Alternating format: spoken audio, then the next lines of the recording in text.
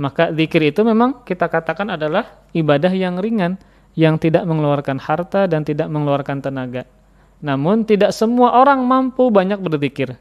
Tidak semua orang banyak mengisi waktunya dengan berzikir kepada Allah Subhanahu wa taala sekalipun ringan ibadahnya. Kenapa? Karena orang tersebut tidak diberikan taufik oleh Allah Subhanahu wa taala.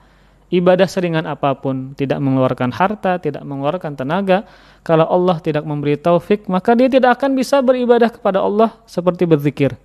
Maka pian bisa renungkan.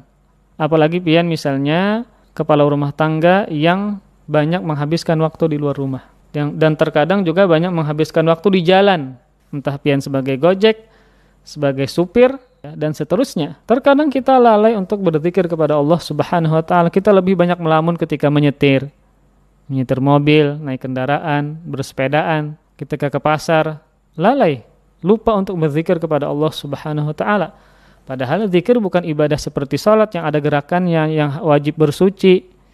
Tidak seperti zakat yang mengeluarkan harta atau sedekah yang mengeluarkan harta tidak, sangat mudah berzikir kepada Allah Subhanahu wa taala.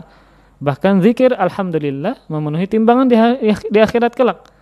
Namun kita lalai dari ibadah yang ringan ini karena Allah tidak memberikan taufik kepada kepada kita. Maka senantiasa kita berdoa kepada Allah Subhanahu wa taala agar Allah senantiasa memberikan taufik kemudahan dalam beramal soleh.